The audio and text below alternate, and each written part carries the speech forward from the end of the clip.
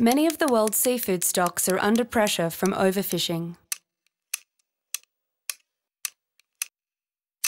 But you can help protect our oceans by switching to sustainable seafood. Buy fish today and think about tomorrow. Look for the MSC Blue Eco label, the mark of certified sustainable seafood. Make the switch on March 19, Sustainable Seafood Day.